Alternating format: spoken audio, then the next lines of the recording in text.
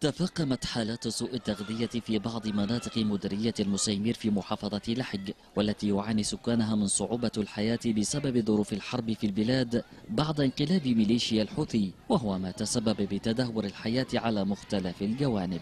المديرية هي من أكثر المديريات. نحن لا يوجد عندنا مغتربين ولا يوجد عندنا ناس عندهم أموال ولا يوجد آه، مواطنينا كلهم مزارعين على وادي تبن وقد جفت المياه.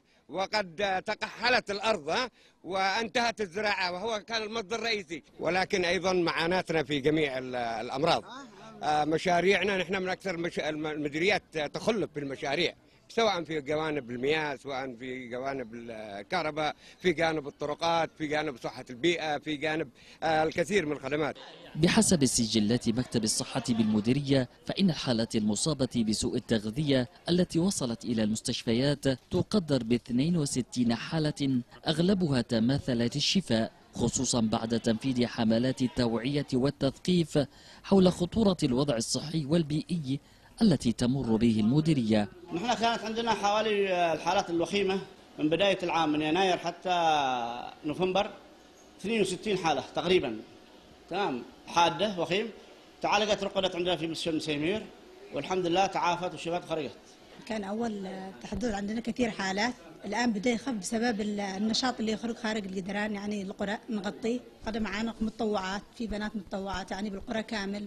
يعني اللي هو حالات سام ولا مام ولا الحالة اللي هي مثلا تعبان تحولون مباشرة عندنا. والحالات اللي هي طبيعية يعملون مشورة أحيانا بالبيت البنات المتطوعات المسؤولون الطبيون هنا تحدثوا أيضا بأن مديرية المسيمير تشهد الأيام القادمة حملة توعية واسعة تستهدف الأطفال دون الخامسة وذلك بهدف إيجاد قاعدة بيانات دقيقة حول حالات سوء التغذية وتحديد نوع التدخل الذي من شأنه الحد من سوء التغذية. مكتب الصحة حاليا. إن شاء الله خلال الأسبوع القادم سيعمل مسح لكل قرى المسيمير بحملة تستهدف جميع الأطفال أقل من خمس سنوات وهذه الحملة ست- ستحدد أرقام منطقية واقعية بمختلف المديرية وستبدأ إن شاء الله خلال الأسبوع القادم.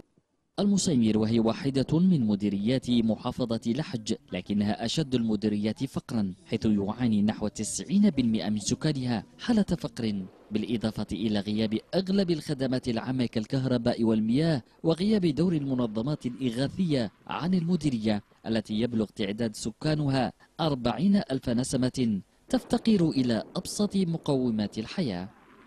مختار شعتل لقناة بلقيس محافظة له.